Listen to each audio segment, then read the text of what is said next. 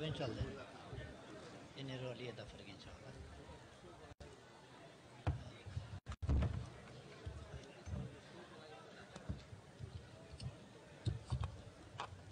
ठिक छ।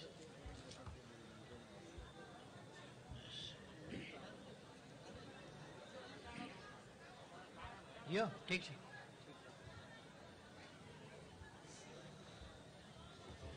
सम्पूर्ण उपस्थित। आदरणीय दिदीबहिनी तथा दाजुभाइहरू सबैमा हार्दिक अभिवादन नमस्कार। यस कार्यक्रमका अध्यक्ष महोदय मञ्चमा आसीन प्रदेश नम्बर एक र बागमती प्रदेशका प्रदेश प्रमुखज्यूहरू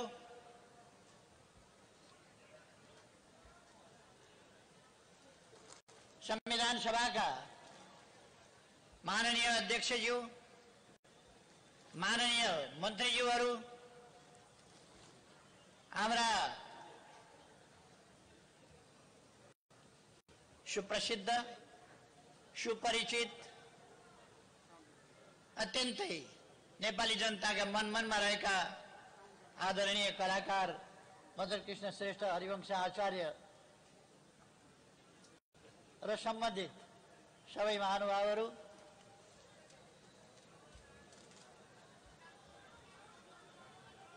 અરુ તમામ વિશિષ્ટ અતિથિઓ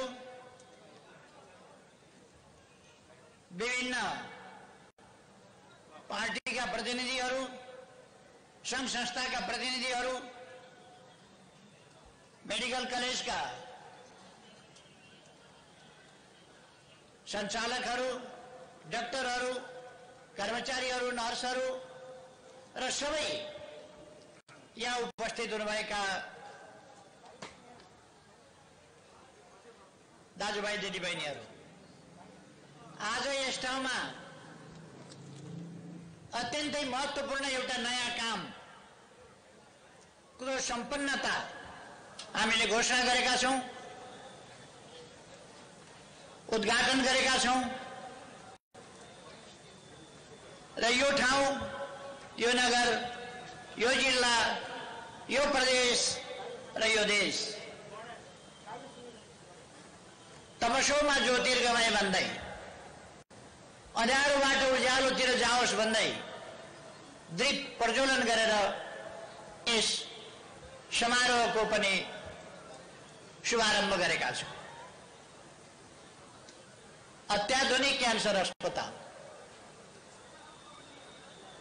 जो दुनियाँकै क्यान्सर अस्पतालहरूमध्ये अत्याधुनिक चिकित्सा उपकरणहरू तिनलाई सही ढङ्गले प्रयोग गर्न सक्ने सञ्चालन गर्न सक्ने उपयोग गर्न सक्ने चिकित्सकहरू। र त्यसमा सहयोग पुर्याउन सक्ने वेल ट्रेन नर्सहरू स्वास्थ्य कर्मीहरू समेत भएको सुविधा सम्पन्न यो अस्पताल यस ठाउँमा हुनु। यस ठाउँका लागि गर्वको कुरा हो खुसीको कुरा हो। र यस ठाउँका लागि मात्रै होइन यो देशकै लागि।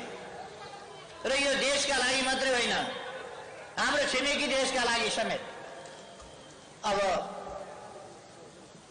विश्व स्तरको सुविधा सम्पन्न क्यान्सर हस्पिटल यस ठाउँमा भएको छ र यहाँ छिमेकका निकटका हाम्रा मित्र राष्ट्रका दाजुभाइ दिदीबहिनीहरूले पनि अन्यत्र जानु पर्दैन। यहीँ उपचारमा आउन सक्नुहुन्छ। सबैलाई थाहा छ नेपाल? औषधोपचारको सम्बन्धमा? मेडिकल ट्रिटमेन्टको सम्बन्धमा? स्वास्थ्य परीक्षण वा उपचारको सम्बन्धमा? संसारको सबभन्दा सस्तो उपचार पाउने परीक्षण र उपचार पाउने देश हो नेपाल। विदेशबाट पनि आउन सक्नुहुन्छ त्यसकारण। प्लेन फेयर समेत जोडे पनि यहाँ आएर उपचार गर्नु धेरै सस्तो पर्नेछ अरू देशका मानिसहरूलाई पनि। त्यसकारण यो एउटा खुसीको कुरा हो। यस काममा अगुवाई गर्ने साथीहरू दुर्गा प्रसाई म्याडम गिरिजी लगायत। अघि भर्खरै हामीले पुरस्कृत गरेका कार्यकारी प्रमुखज्यू लगायत सबैलाई र यहाँका चिकित्सक नर्स समेत सबैलाई म हार्दिक धन्यवाद भन्न चाहन्छु। बधाई भन्न चाहन्छु यस सफलताका लागि। शुभकामना भन्न चाहन्छु तपाईँहरूको यो उत्साह कमजोर नहोस् अझ अगाडि बढेर जाओस्। धेरै धेरै शुभकामना। तपाईँहरूलाई सफलता मिल्दै जाओस् आगामी दिनहरूमा। धेरै धेरै शुभकामना। भन्नेहरूले भन्दै गर्छन्। आलोचना गर्नेहरूले गर्दै गर्छन्। दुर्गा प्रसाईजीको एउटा विशेषता छ। मार्सी चामल भनेर आलोचना गरे विरोध गरे त्यसैलाई उहाँले एउटा ब्रान्ड बनाइदिनु अरू के के ब्रान्ड भन्नुभयो अघि मैले बिर्सेँ गाली गरेका छन् तर माफिया के अरे त्यो? माफिया विस्की अरू के डन? डन इनर्जी ड्रिङ्क जे जे गाली गरेका छन् ती सबै ब्रान्ड भनेर छन्। अथवा एउटा हिम्मत भएको मान्छे हो दुर्गा परसाई भन्ने कुरा र कसैले अनुचित आलोचना गर्यो टिप्पणी गर्यो भने त्यस आलोचना र टिप्पणीबाट हच्किएर आफ्ना राम्रा कामहरूमा दस्किने र पछाडि हट्ने स्वभाव नभएको अगाडि बढ्ने हिम्मत भएको र दृष्टिकोण भएको व्यक्ति हो भन्ने कुरा स्पष्ट भएको छ। म तपाईँलाई बधाई भन्न चाहन्छु। धन्यवाद गर्न चाहन्छु आज हामीले हामी सम्पूर्ण नेपालीको राष्ट्रिय आकाङ्क्षा एउटै राष्ट्रिय साझा आकाङ्क्षा समृद्ध नेपाल सुखी नेपालीलाई राष्ट्रिय आकाङ्क्षा तोकेका छौँ योभन्दा ठुलो आकाङ्क्षा समृद्ध नेपालभन्दा ठुलो आकाङ्क्षा सुखी नेपाली भन्दा ठुलो आकाङ्क्षा अर्को हुन सक्दैन राष्ट्रिय सन्दर्भमा भन्ने हो भने समृद्ध नेपाल सुखी नेपाल। त्यस सम्बन्धमा त्यो हाम्रो राष्ट्रिय आकाङ्क्षा राष्ट्रिय उद्देश्य राष्ट्रिय गन्तव्य त्यसमा पुग्नका लागि हामी विभिन्न प्रकारका विभिन्न क्षेत्रमा प्रयासहरू अगाडि बढाइरहेका छौँ। भन्नेहरू भनिरहेका छन् खुट्टा तान्नेहरू तानिरहेका छन्। कुन्ती मोक्तानले गाएको गीत जस्तै खुट्टा तान्दै गर म त हिँड्छु मेरै बाटो खुट्टा तान्दै गर पर्यो भने ब्रान्ड बनाउने रहेछ। अब ब्रान्ड बनाउने रहेछ खुट्टा तान्ने पनि एउटा ब्रान्ड हुने रहेछ कसैले खुट्टा तान्यो भने आलोचना गर्दै गर्छन् टिप्पणी गर्दै गर्छन् विचार विभिन्न। कुण्ड कुण्ड पानी मुण्ड मुण्ड बुद्धि भन्छ खाल्दै पछि पानी टाउकै पछिका आफ्ना आफ्ना खालका दिमाग आफ्ना आफ्ना खालका बुद्धि मान्छेका हुन्छन् त्यसबाट हामी विचलित हुनु हुँदैन देश बनाउने सङ्कल्पमा सही बाटोमा सही गन्तव्यतर्फ हामी सही बाटो लिएर अगाडि बढ्नुपर्छ। विभिन्न लक्ष्यहरू तोकेर विभिन्न क्षेत्रमा अगाडि बढ्नुपर्छ। अघि केही प्रश्नहरू गर्नुभयो प्रश्नहरू सोध्छु भनेर। म त सायद मैले बोक्नै नसक्ने भारी पो बोकाउन आँट्नुभयो कि भन्ने लागेको थियो। देशै बनाउने कुरा रहेछ त्यो त मैले भनेकै छु नि देशै बनाउने कुरा रहेछ। त्यो त मैले सङ्कल्प गरेकै छु। जस्तो तपाईँले बिएनसी टिचिङ हस्पिटल भनेर लेख्नुभएको छ। अहिले तपाईँको teaching hospital BNC teaching hospital बनाउने काम अगाडि बढिसकेको कुरा खुदै दुर्गा प्रसादजीलाई थाहा छ। यो काम अगाडि बढिसक्यो।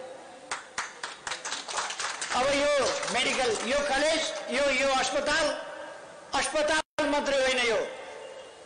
शिक्षण अस्पतालको रूपमा। केही समयभित्रै शिक्षण अस्पतालको रूपमा यो अगाडि बढ्छ भन्ने कुरा हामीले प्रक्रिया अगाडि बढाइसकेका छौँ। यसको सम्बन्धन काठमाडौँ युनिभर्सिटीले दिँदैछ।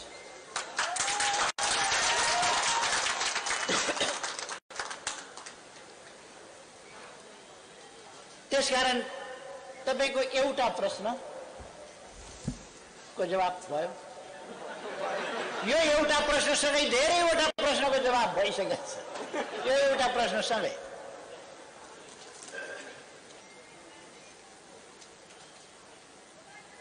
ठिक हो। हाम्रो दक्षिणतिरबाट आउने बाटाको लाइन धसेको हुने समय अब धेरै लामो समय छैन। त्यो बाटो बराबरको हुने स्थिति हामी बनाउँछौँ। बरु यताबाट दक्षिणतिर लाग्ने बाटो चाहिँ बढी धसेको हुनेछ। त्यो बाटो त्यो काम हामी गर्नेछौँ। हाम्रो अहिलेको अभियान रोजगारीका अवसरहरू सिर्जना गर्ने। कुरा धेरै भए युवाहरूलाई विदेश भगाउने काम भए स्वदेशमा रोजगारी गर्न नसक्ने गाउँमा बस्न नसक्ने गाउँमा अडिनै नपाउने बस्नै नपाउने स्थितिहरू बने देशमा रोजगारीका अवसरहरू नहुने स्थिति बने। जसरी युवाहरूको पङ्क्ति बढ्दो छ रोजगारीका अवसरहरू भएका उद्योगहरू पनि सिद्ध्याउने काम भए त्यस ठाउँमा अहिले हामी सातैवटा प्रदेशमा दस गतेदेखि अस्तिका दिन सोह्र गतेसम्ममा सातैवटा प्रदेशमा हामीले कुनै प्रदेशमा दुई टका दरले ठुला ठुला औद्योगिक क्षेत्रहरू घोषणा गऱ्यौँ दस गते मैले कञ्चनपुर जिल्लाको दैजीबाट सुरु गरेको सोह्र गते यहाँ दमक र लखनपुर नगरपालिका गाउँपालिका। दमक नगरपालिका र लखनपुर गाउँपालिका। त्यसलाई जोड्ने पुल समेत तयार गरिसकेर पुलको पनि उद्घाटन गऱ्यौँ सँगसँगै नेपालको सबभन्दा ठुलो औद्योगिक क्षेत्र एक्काइस सय बिघामा फैलिएको औद्योगिक क्षेत्रको पनि हामीले शिलान्यास गऱ्यौँ। अस्ति सोह्र गते मात्रै अस्तिको दिन मात्रै। हामी विकासको काममा कसरी अगाडि बढेका छौँ? अस्तिको दिनको मात्रै म घटना विवरण सुनाउँ। अस्तिका दिन पाँचवटा लामा लामा सडक पुलहरू मैले निर्माण गरिसकेर उद्घाटन गरेँ। यही झापा जिल्लाको त्यो पनि एउटा मात्रै क्षेत्रमा अरू क्षेत्रका त उद्घाटन गर्नै पाएको छैन एउटा मात्रै क्षेत्रमा पाँचवटा पुल निर्माण भइसकेर उद्घाटन गरेँ र एकतिसवटा एकतिसवटा सडक पुल शिलान्यास गरेँ। अस्तिको दिन मात्रै हिजो पोखरामा मैले रङ्गशालाको स्थिति हेरेर छिटै नै रङ्गशालालाई अगाडि बढाउनका लागि निर्देशन पनि दिएँ। र त्यहाँ अब धनुबाँडको क्षेत्र पौडीको क्षेत्र आर्करी आर्चरी या स्विमिङ पुल यिनीहरू निर्माण गर्ने सन्दर्भमा निर्देशनहरू दिएँ। त्यहाँ पोखरा प्रदेशकै राजधानी स्थित पोखरामा एउटा गण्डकी प्रदेश प्रशिक्षण केन्द्र भव्य महलको प्रशिक्षण केन्द्रको शिलान्यास पनि आज अघि भर्खर सैतिसवटा नयाँ बनेका घर घरबार विहीन जमिन विहीन छाप्रा नभएका मान्छेहरूलाई सैतिसवटा घर भर्खरै हस्तान्तरण गरेर म यस कार्यक्रममा आएको छु। सैतिसवटा घर यसै ठाउँमा अघि भर्खर हस्तान्तरण गरिए। सैकडौँ घर सयौँ घरहरू यसै आर्थिक वर्षभित्र यस नगरपालिकामा तयार हुँदैछन् एवं रीतले अरू ठाउँहरूमा पनि हामी वितरण गर्दैछौँ। अब यसभन्दा पछि उर्लाबारीमा ठ्याक्कै यस जिल्लाको सिमाना कट्ने बित्तिकै उर्लाबारीमा हामी सन्थाल बस्तीको एकीकृत सन्थाल बस्तीको शिलान्यास गर्न जाँदैछौँ र केही समयभित्रै केही महिनाभित्र ती बस्तीहरू तयार गरिसकेर उद्घाटन पनि हामी गर्नेछौँ। आलोचना गर्नेहरूले गर्दै गर्छन् केही भएन भन्नेहरू लक्ष्मीप्रसाद देवकोटाले एक ठाउँमा भनेका छन् दर्शन किन्तु कहीँ दिँदैन चर्म चक्षुले कानामा नदेख्न खोजेपछि नदेख्न खोजेपछि केही गरे पनि मान्छेले देख्दैन।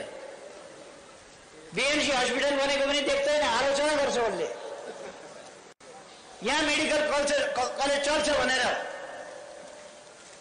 कोही अनसन बस्न तयार हुन्छ कसैलाई अनसन बसाउन बल गरिन्छ। हामीलाई अस्पतालहरू चाहिएको छ। मेडिकल हब बनाउनु परेको छ। मैले अघि नै भने यस ठाउँमा देश विदेशबाट आउनु सबभन्दा सस्तो उपचार नेपालमा पाइन्छ। सबभन्दा राम्रो उपचार नेपालमा पाइन्छ। अब हामी दावी गरेर भन्न सक्छौँ क्यान्सरको सबभन्दा राम्रो उपचार नेपालमा पाइन्छ। विदेशीहरू पनि आउनुभयो हुन्छ। सस्तोमा उपचार पाइन्छ नेपालमा। यति सस्तो। दुनियाँमा एउटा सागको मुठो पनि सस्तो खोज्नुपर्छ भने नेपालमा आउनुपर्छ। सबभन्दा सस्तो पाइने नेपालमै हो। उपचार पनि परीक्षण पनि उपचार पनि नेपालमा सस्तो पाइन्छ। हामीलाई अस्पतालहरू चाहिएको छ। हामीलाई मेडिकल कलेज मात्रै मेडिकल कलेजहरू चाहिएको छ। हामीलाई इन्जिनियरिङ कलेजहरू चाहिएको छ। हामीलाई प्राविधिक शिक्षालयहरू इन्फर्मेसन टेक्नोलोजीका अरू टेक्निकल युनिभर्सिटीहरू टेक्निकल कलेजहरू टेक्निकल विद्यालयहरू त्यो चाहिएको छ। त्यसै कारण हामी सबै जिल्लाहरूमा कमसे कम प्राविधिक क्याम्पसहरू प्राविधिक शिक्षालयहरू खोलिरहेका छौँ। अस्पतालहरू यद्यपि हाम्रो नारा स्वास्थ्यको सम्बन्धमा निरोगी नेपाल भन्ने हाम्रो नारा रहेको छ। हामी नेपाललाई निरोगी जनताको देश बनाउन चाहन्छौँ तर पनि फेरि पनि अस्पताल कुनै न कुनै समयमा त जानै पर्ने हुन्छ। केही प्राकृतिक हिसाबले जानुपर्ने हुन्छ केही बुढौतीको हिसाबले जानुपर्ने हुन्छ। त्यस्तो अवस्थाका लागि हामीसँग पर्याप्त अस्पताल पर्याप्त डाक्टर नर्स स्वास्थ्य कर्मीहरू र अन्य सुविधाहरू त्यस अनुसार हामीलाई चाहिन्छ। त्यसै कारण हामीले अस्ति केही दिन अगाडि मात्रै एकै दिन तिन सय नौवटा अस्पतालको देशभरिमा एकैचोटि एउटै साइटमा एउटै मुहुर्तमा तिन सय नौवटा अस्पताल एकै दिन शिलान्यास गर्यो तिन सय छयानब्बेवटा शिलान्यास गर्ने हाम्रो योजना थियो तर प्राविधिक कारणले केही भोलिपल्ट पर्सिपल्ट लगाउनु पर्यो।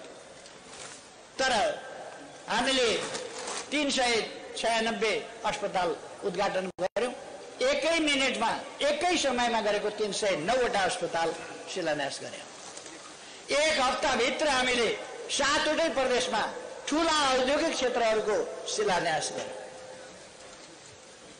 हामीले थुप्रो यस्ता कामहरू मैले धेरै भनिरहनु पर्दैन हामीले डिजिटल नेपालको अभियान अगाडि बढाएका छौँ। त्यो साथीहरूलाई थाहा छ होला। डिजिटल नेपाल अहिले हामीले डिजिटल सोइल टेस्टिङ। माटोको परीक्षण पनि डिजिटल ढङ्गले गर्ने।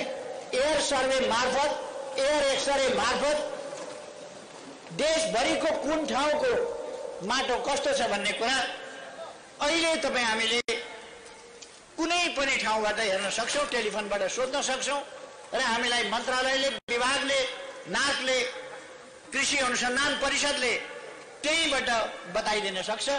यो ठाउँको माटो यस्तो छ के बाली लगाउनुहुन्छ यहाँ अम्लीयता यस्तो छ यहाँ यति नाइट्रोजनको कमी छ अथवा प्राङ्गारिक तत्त्व यति कमी छ यस्ता यस्ता कुराहरूको कमी छन् भन्ने कुरा तपाईँलाई तपाईँको मोबाइल कुराकानीमा के बाली लगाउनुहुन्छ कहाँनिरको भनेर गुगल म्यापबाट हेरेर तपाईँको घर छेउको बारी हेरेर त्यसको माटोको परीक्षण गर्न सक्छ ती बताइदिन सक्छ कि तपाईँको माटो यस्तो छ के बाली लगाउने हो त्यसका लागि यो यो चिज यति यति हाल्नुहोस् भने होइन भने हामी गाउँमा प्रविधि प्राविधिक पठाइदिन्छौँ जसले अब कृषिको क्षेत्रलाई हामी आधुनिकीकरणतर्फ लाने एउटा महत्त्वपूर्ण कुरा थियो माटोको परीक्षण। माटो एक खालको बाली अर्को खालको हुन्थ्यो। कति मल हाल्ने थाहा हुँदैन थियो। कुन मल चाहिएको छ अर्को मल हालिन्थ्यो। मल भनेपछि सबै एकै खालले बुझ्ने त्यो चलन थियो। त्यसलाई तोडेर कुन चिजका लागि कति मल त्यो हामीले प्रबन्ध गरेका छौँ। त्यसका लागि माटोको परीक्षण गरेका छौँ। माटोको परीक्षण अब हरेक ठाउँबाट किसानले आफै आफै किसानले जान्न सक्दछ। विभिन्न क्षेत्रमा हामीहरूले विकास गरेका छौँ। शिक्षा क्षेत्रमा त्यसै गरी फड्को मारेका छौँ हामीले। अब विद्यार्थीहरूलाई कम्प्युटर र ल्यापटपहरू पठाएर विद्यालय विद्यालयमा हामी आधुनिक प्रविधिबाट काठमाडौँका राम्रा भन्दा राम्रा शिक्षण विधि भएका वा क्षमता भएका विद्यालयबाट गाउँका विद्यालयमा सोझै पढाइ गर्न सक्छौँ। यस खालको प्रविधि हामीले गरेका छौँ। नागरिक एप्स निर्माण गरेर डिजिटल नेपालको सपनालाई साकार पार्ने बाटोमा हामी धेरै अगाडि बढिरहेका छौँ अप्टिकल फाइबर बिछाउने फोर जी सबै जिल्लामा तुरन्तै पुर्याउने लगायतका कामहरू हामी सफलताका साथ अगाडि बढाइरहेका छौँ। हाम्रो कलाकार हरिवंशजीले भन्नुभयो जस्तै अब हाम्रा बाटाहरू बनाएको एक महिनामा उक्किने बाटा होइन। पक्की बाटो बनाउँछौँ हामी पक्की बाटो। अलकत्रा यसो छर्किने होइन अब पक्की बाटो बनाउँछौँ हामी जसलाई पिच पक्की बाटो भनिन्छ। किनभने हामीलाई देखाउनु छैन। देखाएर के बाटो अरे? के बनाएको के बन्छ अरे? ए पिच रोड बनाएको घिच रोड हुने पिच रोडलाई अब घिच रोड हुन दिँदैनौँ हामी। हामी पिच रोडलाई पिच रोड नै बनाएर छोड्छौँ र त्यो नभत्किने गरी बनाउँछौँ। नभत्किने भनेर सधैँ नभत्किने त हुँदैन तर बिस तिस वर्षपछि त बेग्लै कुरा म नै बुढो भइसकेँ हेर्दा हेर्दै। अब फरक त परिहाल्दैन रहेछ। बुढो हुन थाल्यो। म त बुढो भइसकेको छैन। मेरो बुवा चाहिँ अलिक बुढो हुन थाल्यो। खैर कहिल्यै केही नहुने त केही पनि हुँदैन। यी बिल्डिङहरू पनि पछि पुराना हुन्छन्। फेरि अर्का बिल्डिङ बनाउनुपर्छ तर पछिको कुरा हो। अहिले हामी राम्रा पक्की स्थायी खालका संरचनाहरू निर्माण गर्छौँ। हाम्रो देश भर्खरै भूकम्पबाट पीडित भएर पीडा भोगेर आएको छ। त्यसकारण अबका हाम्रा संरचनाहरू हामी भूकम्प प्रतिरोधक स्तरमा बनाउँछौँ। त्यो काम हामीले गरिरहेका छौँ। भूकम्पबाट भएका क्षतिहरूको पुनर्निर्माण दुई लाख जनतालाई हामीले केही पनि नभएका घर नभएका केही पनि नभएका जमिन पनि नभएका सुनिएन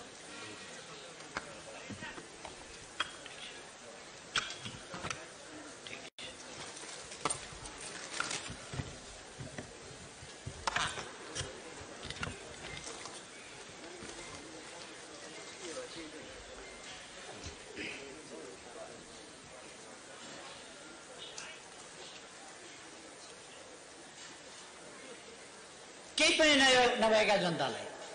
जमिन पनि छैन घर पनि छैन त्यस्ता जनतालाई एकीकृत बस्तीको रूपमा बनाएर दुई लाख जनतालाई घरहरू वितरण गरिसकेका छौँ।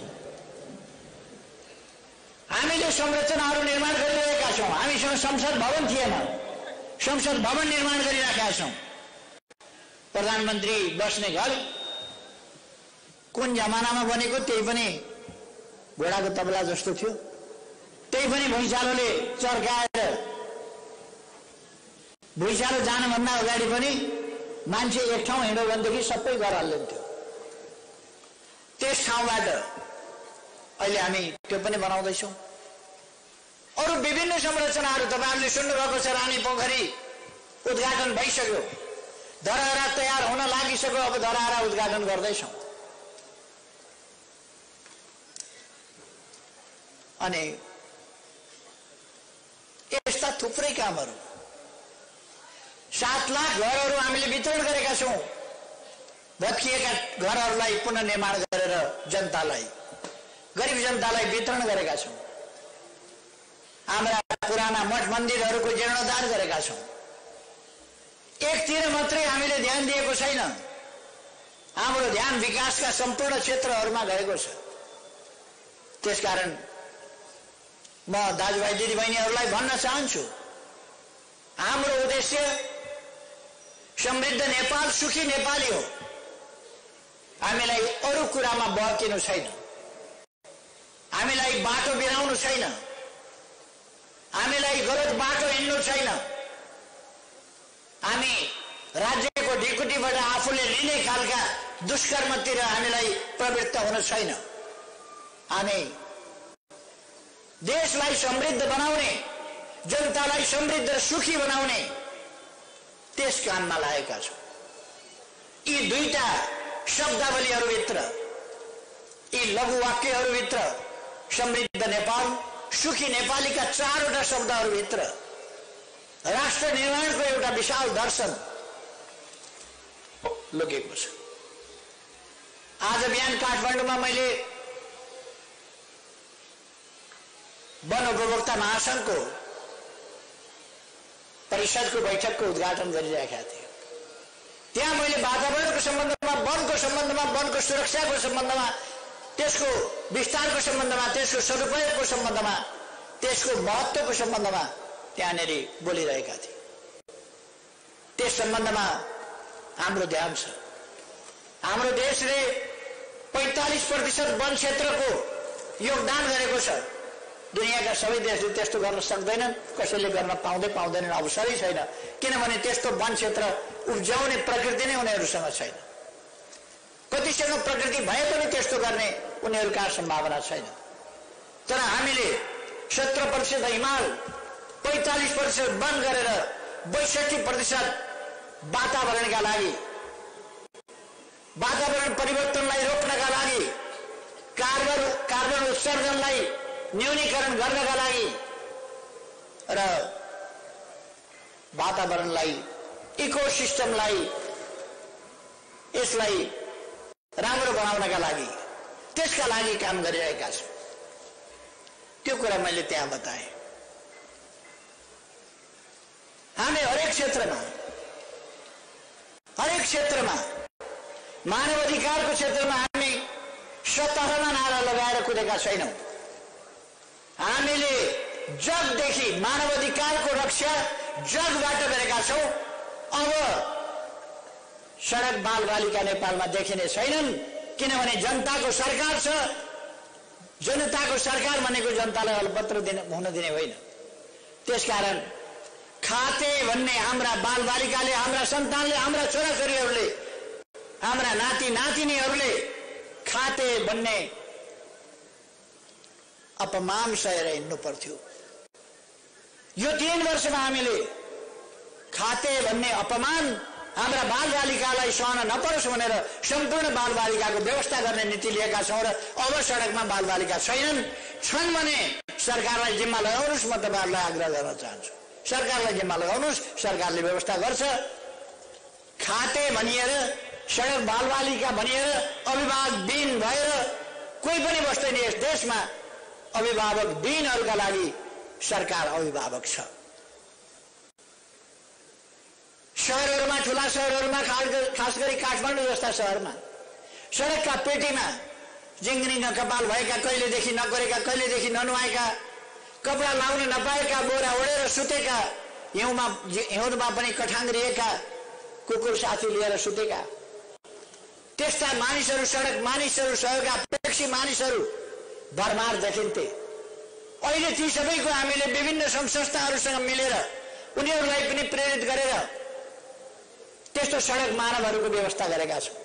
अब सडकमा सडक मानव भन्ने चिज नेपालमा छैन हुँदैन। हामीले देशव्यापी रूपमा पनि खोजी गर्ने अभियान सञ्चालन गर्यौँ र त्यस अभियानबाट अब सडक मानव भन्ने कुरा छैन। हामी सडकमा पुग्नु पर्ने अवस्थामै बदल्छौँ र सडकमा पुग्नु पर्ने अवस्था रहन दिँदैनौँ। कोही पुगिहाल्यो भने हालका लागि कोही पुगिहालेछ भने त्यसको व्यवस्था गर्छौँ। उसको मानव अधिकार र मौलिक हकको आधारभूत कुराहरूको रक्षा सरकारले गर्छ त्यसै कारण मैले भनेको थिएँ कि नेपालमा सरकार छ जनताका लागि त्यसकारण नेपालमा कोही भोकै पर्दैन कोही भोकले पर्दैन त्यो हामी व्यवहारमा गरिरहेका छौँ। तपाईँहरूले यस्तो सरकार कहिले देख्नुभएको थियो? फुसका छाना अब कहीँ रहन नदिने खरका छाना रहन नदिने। देशभरि कम्तीमा टिनका छाना हालिन्छ फुसका छानाहरू हटाइन्छ। म स्थानीय पालिकाहरूलाई भन्न चाहन्छु तपाईँहरूलाई जति जस्ता पाता चाहिन्छ सरकार दिन तयार छ। तपाईँहरू लिनुहोस् र फुसका छानाहरू विस्थापित गर्नुहोस्। फुसका छाना नराख्नुहोस् जनता आवास कार्यक्रम मार्फत हामी धेरै हजार घरहरू हरेक वर्ष गरिब जनतालाई निर्माण गरेर वितरण गरिरहेका छौँ।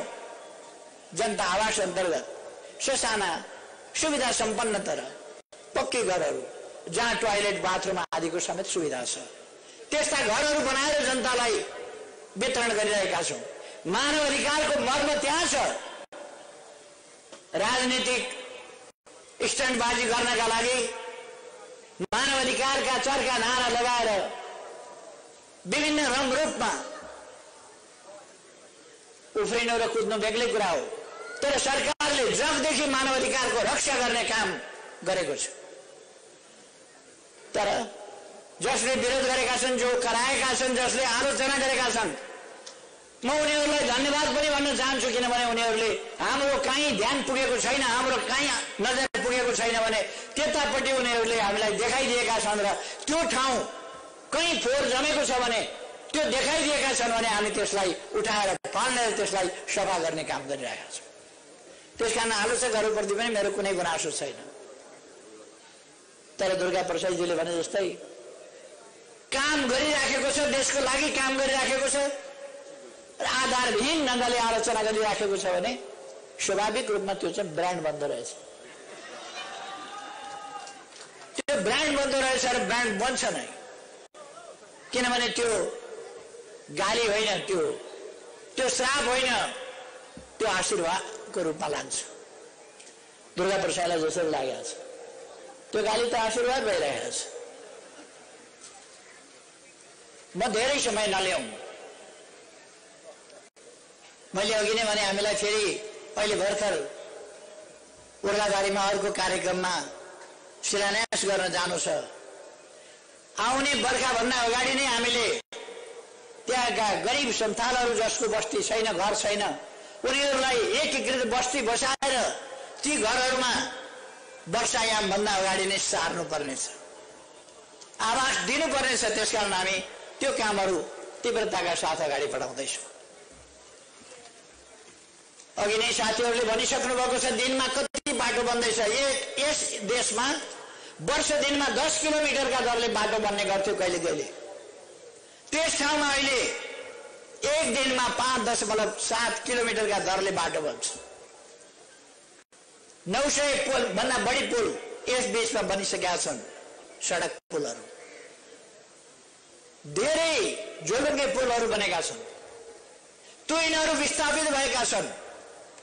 बाटाहरू चौडा बनेका छन्। एकै दिन एकै रातमा त स्वस्थानी व्रत कथा मात्रै हुन्छ। सतीदेवीले यसो सोधेका बेला महादेवले ए यतापट्टि हेर त भन्दै घर देखाएको। यो त व्रत कथामा हुने कुरा हो। वास्तवमा भन्ने हो भने बाटो बनाउनु त समय लाग्छ। तपाईँहरूले देख्नु भएको छ चाराली भद्रपुर सडक बनेको छ। तपाईँहरूले देख्नु भएको छ बिर्तामोड भद्रपुर चन्द्रगढी सडक बन्दैछ। बन्दैछ तपाईँहरूले देख्नुभएको छ। सकेसम्म छिटो भनिएको छ। तर छिटो भने पनि सबभन्दा छिटो मान्छेको मन उड्छ। मन जस्तो छिटो बाटो त उड्दैन नि। त्यो त बनाउन अलिकति समय लाग्छ। मन त सबभन्दा छिटो उड्छ। कुनै पनि चिजभन्दा छिटो मन उड्छ। अहिले अमेरिका त्यहाँबाट जापान। चन्द्रमा मङ्गल शनि बृहस्पति सूर्य सूर्यभन्दा पर आकाशगङ्गा आकाशगङ्गाभन्दा पर। अर्को आकाशगङ्गा धेरैवटा आकाशगङ्गा घुमेर फेरि यहीँ टप्लका आउन सकिन्छ। मन त एकछिनमा कहाँ कहाँ पुग्छ पुग्छ। तर मन जस्तै देशलाई एकै छिनमा बनाउन सकिँदैन केही वर्ष लाग्छ। हाम्रो देश अविकसित अथवा अल्प विकसित देशबाट अस्तिका दिन मात्रै संयुक्त राष्ट्र संघको मूल्याङ्कन समितिले अब नेपाल विकासशील देशमा प्रवेश गर्न योग्य छ विकासशील देश विकासशील देशमा प्रवेश गरेको छ यसलाई मान्यता दियोस् भनेर प्रस्ताव संयुक्त राष्ट्र सङ्घको समितिले राष्ट्र सङ्घमा प्रस्तुत गरेको छ। हाम्रो शिक्षा सम्बन्धी प्यारामिटर्स शिक्षा सम्बन्धी हाम्रो विकासलाई विश्व शिक्षा सम्बन्धी बाल शिक्षा सम्बन्धी युनेस्को लगायतका संस्थाहरूले प्रशंसा गरेका छन्। कोभिड उन्नाइस आयो। हाम्रो देश सबभन्दा क्षति कम हुने देशहरूभित्र पर्छ। हामीले खोप बनाएका छैनौँ तर खोप बनाउने देशहरूमा जति बेला नियन्त्रणका कामहरू सिँचाइका कामहरू बिस गते हामी सुनकोशी मरिन डाइभर्सन सुनकोशी खोलाको पानी तराईमा झार्ने सुनकोशी मरिन डाइभर्सन यो बिस गते हामी शिलान्यास गर्दैछौँ। यही बिस गते भनेको पर्सि। पर्सिबाट सुनकोशीको पानी तराईमा झार्ने काम हुँदैछ। हामी कन्काई सिँचाइ आयोजनाको विकास गर्दैछौँ। हामी तमर चिस्याङ सिँचाइ आयोजना त्यसको तयारी गरिरहेका छौँ। मैले विकासका हाम्रा प्रयासहरू ठुल्ठुला विकासका आयोजनाहरू हामी ठुला सपनाहरू देख्छौँ। ठुला सपना देख्छौँ।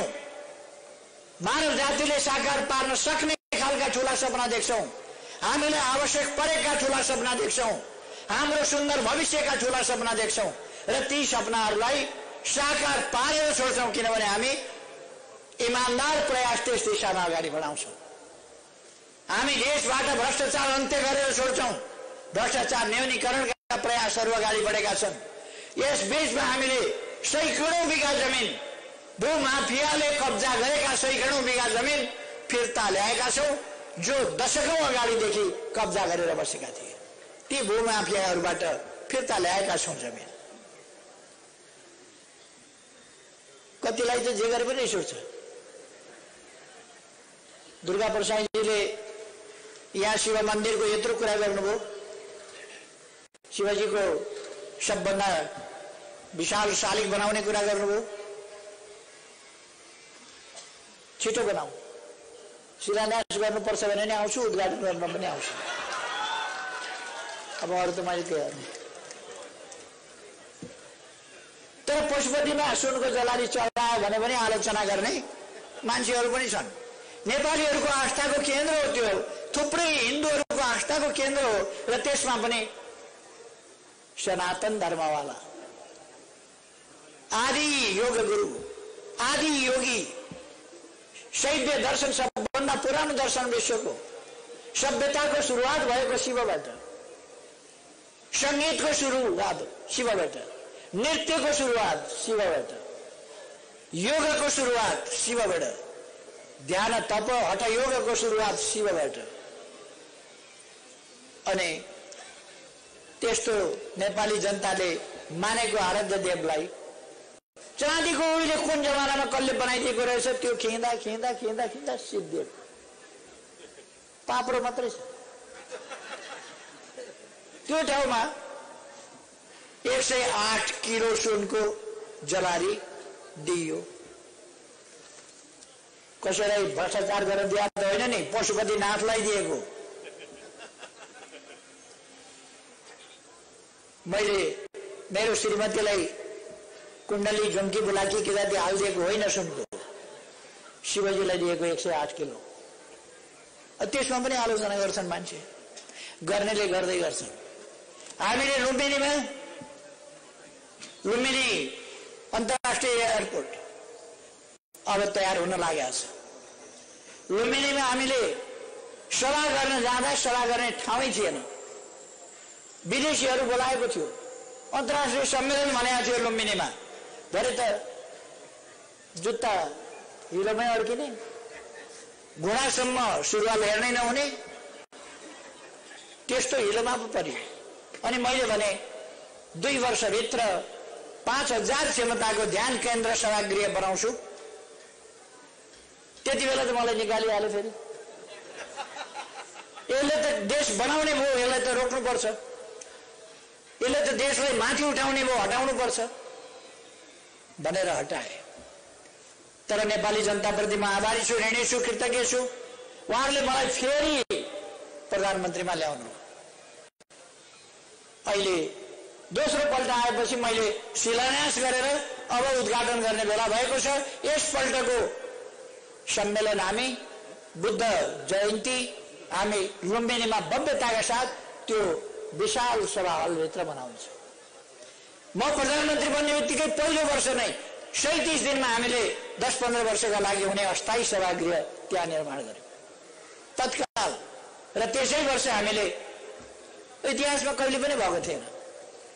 इतिहासमा नभएका कुराहरू हामी गर्दैछौँ। नेपाल सुरुङ युगमा प्रवेश गरेको छ। अस्ति भर्खर मैले थानकोट नौबिसे सुरुङ मार्ग हेरेँ। त्यसको धमाधम खन्ने कार्य भइरहेको छ। सुरुङ मार्ग। अब काठमाडौँबाट नौबिसे जाँदा नौबिसेबाट काठमाडौँ आउँदा घुम्दै घुम्दै कतै गाडी पल्टेला कि डिलबाट भन्ने डर मानि मानिकन आउनु पर्ने छैन। एउटा गीत मैले सुनेको थिएँ काठमाडौँबाट पढ्यो चढ्यो। काठमाडौँबाट पस्यो हिटौँडामा फुत्त भनेर एउटा गीत निकालेको थिएँ। त्यस्तै नौबिसेबाट पस्यो काठमाडौँमा फुत्त काठमाडौँबाट पस्यो नौबिसेमा फुत्त। त्यो हामी सुरुङ मार्गमा प्रवेश गरेका छौँ। बाटाहरू चौडा हुँदैछन् राजमार्ग चौडा हुँदैछ तपाईँहरूलाई थाहा होला। केही दिनभित्र हामी पूर्व पश्चिम रेल मार्गको यहाँबाट शिलान्यास गरेर काम शुभारम्भ गर्दैछौँ। ठुला काम गर्ने हाम्रो सानै काम। आफ्नै घर परिवार आफ्नै छोराछोरी मात्रै त जसले पनि हेरेकै छन्। हामी ठुला काम गर्ने हो। देश बनाउने देशलाई आधुनिक देश बनाउने हवाई मैदानहरू। यो भद्रपुर हवाई मैदान म प्रधानमन्त्री भएपछि राति पनि उड्ने भएको छ। विराटनगर बाह्रवटा हवाई मैदानहरू अहिले राति पनि उड्छन्। धनगढी जनकपुर लगायतका मैदानहरू सुर्खेत सिमरा यी सबै राति उड्ने बनाइएको छ।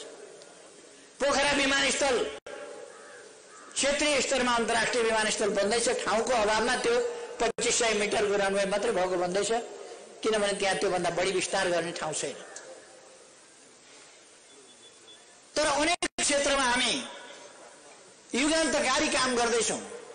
एउटा नयाँ युगको थालनी गर्दैछौँ। त्यसर्थ अस्ति मैले त्यो जब soil scanning soil digital soil test त्यसको उद्घाटन गरेँ। त्यस बेला मैले भने फेरि एउटा पुरानो जमाना पुरानो युगको अन्त्य गरेर हामीले नयाँ युगको सुरुवात गरेका छौँ। तपाईँहरूलाई लाग्ला प्रधानमन्त्री त ढुक्कैले भाषण गरिरहेका छ अदालतले त प्रतिनिधि सभा बिउतायो।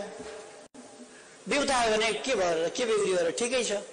तर अब प्रतिनिधि सभा कसरी अगाडि जान्छ? देशको राजनीति कसरी अगाडि जान्छ? अदालतको फैसलाको मूल्याङ्कन परिणामले गर्नेछ। म केही पनि बोल्दिनँ। मेरो काम त प्रधानमन्त्रीको हिसाबमा अदालतले गरेको फैसला मान्ने हो त्यसलाई कार्यान्वयन गर्ने हो। तेइस गते अधिवेशन बोलाएको छु। तेइस गते अधिवेशन बस्छ। राम्ररी अधिवेशन चलाएर अगाडि बढाउने मेरो प्रयास हुन्छ। मेरो नकारात्मक भूमिका कहिले पनि हुँदैन। सकारात्मक भूमिका हुन्छ। अब कति भन्छन्? म मुद्दा लड्न गएको पनि छैन। म मुद्दा हाल्न गएको पनि छैन यो पाउँ त्यो पाउँ भनेर। म राजनीति गर्ने मान्छे म माग्न जाँदा दरखास्त हाल्न जाँदा निवेदन हाल्न जाँदा तपाईँहरू कहाँ आउँछु? नेपाली जनताका बिचमा जान्छु दाजुभाइ दिदीबहिनीका बिचमा जान्छु। कि म माथि अन्याय भयो तपाईँहरूले न्याय दिनुहोस् भनेर। तपाईँहरूले न्याय दिनुहोस्। अस्तिका दिन बोल्दाखेरि मैले भने अहिले पनि मलाई कसैले हटाउन सक्छ भने हटाओस्। तर सजिलो छैन। सजिलो छैन। हटाउन सक्छ भने हटाओस् खुसी साथ हट्छु तर आउँदो चुनावमा आउँदो चुनावमा अहिले नै भनिदिन चाहन्छु। कसैले हटाउन सक्छ भने हटाओस्। डेढ वर्ष दुई वर्षपछि त चुनाव आइसक्छ। दुई तिहाईका साथ फेरि सिंहदरबारमा फर्किन्छु। त्यो कुरा नेपाली जनतासँग म आग्रह गर्न चाहन्छु। किनभने यो देश बनाउनुपर्छ यो देशलाई बिगार्न दिनु हुँदैन। यो देशलाई अलमलमा पर्न दिनु हुँदैन। हामीले जुन बाटो बनाएका छौँ त्यो बाटो अलमलिन दिनु हुँदैन बिग्रिन दिनु हुँदैन रोकिन दिनु हुँदैन त्यहाँ तगारो लाउन दिनु हुँदैन। त्यस्ता तगाराहरू पन्छाएर अगाडि बढ्ने सामर्थ्य त्यो चेतना हामी नेपाली जनताले राख्नुपर्छ र हाम्रा छिमेकीहरूसँग हामीले हाम्रो राष्ट्रिय हित हाम्रो भूगोल हाम्रो नक्सा हाम्रो जमिन हाम्रो स्वाधीनता हाम्रो स्वाभिमान हाम्रो राष्ट्रिय सम्प्रभुता र हाम्रा हितहरूलाई सुरक्षित राखेर हाम्रा छिमेकीहरूसँग मैत्रीपूर्ण सम्बन्ध बनाउने हो। नेपाली जनताले दुःख पाए कि पाउन् जेसुकै होस् अर्काका लागि कम्फर्टेबल सरकार होइन। नेपाली जनतालाई कम्फर्टेबल सरकार चाहियो। नेपाली जनतालाई सजिलो हुने सरकार चाहियो। नेपाली जनताका लागि काम गर्ने सरकार चाहियो। नेपाली जनताका लागि आवास दिने सरकार चाहियो। बाटो दिने सरकार चाहियो। खाने पानी दिने सरकार चाहियो। विद्यालय दिने सरकार चाहियो। बाल बालिकालाई पाठ्य पुस्तक दिने सरकार चाहियो। गरिबका बाल बालिका छन् भने पढाइदिने सरकार चाहियो। नेपाली जनतालाई कम्फर्टेबल सरकार चाहियो। त्यसकारण हामी नेपाल र नेपालीका लागि काम गर्छौँ। पहिलो सबैसँग मित्रता राख्छौँ सबैसँग सहयोग पनि लिन्छौँ सबैसँग सहकार्य पनि गर्छौँ। तर हाम्रो गन्तव्य समृद्ध नेपाल हो सुखी नेपाली हो। अरूलाई खुसी पार्ने कुरो हाम्रो होइन। सुखी नेपाली बनाउने कुरा हो। हाम्रो अभियान त्यो। त्यसै कारण सिद्धिएका उद्योगहरू फेरि जगाउँदैछौँ हामी। बाँझा रहेका खेतहरू बारीहरू फेरि हामी हराभरा बनाउन लाग्दैछौँ। हाम्रो आधुनिकीकरणतर्फको कृषिको आधुनिकीकरणतर्फको पर्यटन क्षेत्रको उत्थानतर्फको हाम्रो यात्राको अर्थ पनि यही हो। पर्यटन व्यवसाय लगायतका सेवाका क्षेत्रहरू लगायतका सबै कुराहरूलाई हामी अगाडि बढाउन चाहन्छौँ यातायात व्यवसायीहरूले सिन्डिकेट त समाप्त पार्नु पर्थ्यो हामीले पार्यौँ। तर त्यति बेला उहाँहरूको सम्पत्ति त्यो समितिबाट उसमा कम्पनीमा स्थानान्तरण गर्नुपर्ने त्यो भइरहेको छैन। त्यसलाई हामी कानुनी उल्झन रहेछ। त्यो कानुनी उल्झनलाई पनि समाप्त पारेर व्यवसायीहरूलाई कम्फर्टेबल बनाउँदैछ। नेपाली जनताका लागि कम्फर्टेबल त्यो कम्फर्टेबल बनाउने काम हामी गर्दैछौँ। त्यसकारण म तपाईँहरूलाई आग्रह गर्न चाहन्छु चिन्ता चिन्ता गर्ने होइन। आफ्नो कर्तव्यप्रति निष्ठाका साथ अगाडि बढ्ने एकताबद्ध भएर अगाडि बढ्ने राष्ट्रव्यापी ढङ्गले हामी जागरणका साथ अगाडि बढ्ने राष्ट्र निर्माणको काममा कसैले यसलाई बिथोल्न खोज्छ भड्काउन खोज्छ बिगार्न खोज्छ भने त्यसलाई रक्षा गर्दै अगाडि बढ्ने र हाम्रो देशलाई आधुनिक विकसित देश बनाइ छोड्ने। यस अभियानमा बिएनसी हस्पिटलले जस्तै जस्तो क्यान्सरको शाखा हामीले आज बिएनसी क्यान्सर हस्पिटलको उद्घाटन गरेका छौँ। अत्यन्तै भव्य छ। भवनको मात्रै होइन त्यसको अन्तर्य त्यसको अन्तर्वस्तुमा भव्यता छ। त्यसको अन्तर्वस्तुमा आधुनिकता छ। त्यसको अन्तर्वस्तुमा विकासको उचाइ छोएको छ। यो सबै यस्तै हिसाबले हामी अगाडि बढ्दै जान्छौँ। सरकार र निजी क्षेत्र सहकार्यका साथ अगाडि बढ्छ। त्यसै कारण मैले भनेको दुर्गा प्रसाईजी तपाईँको बिएमसी मेडिकल के टिचिङ हस्पिटल लेखाएको छ नि त्यहाँ? त्यो लेखा मात्रै थियो। अब त्यहाँ पढाइ पनि हुन्छ। सरकार प्राइभेट सेक्टरलाई त्यसरी मद्दत गर्छ सहयोग गर्छ। मैले चण्डी ढकालजीलाई भनिराखेको छु मोमेन्टो गार्मेन्ट चलाउनुहोस् सरकारले के सहयोग गर्नुपर्छ गर्छ। रोजगारीका अवसर सिर्जना गर्नुहोस्। मोमेन्टो चलाउनुहोस्। मोमेन्टो जस्ता अरू खोल्नुहोस्।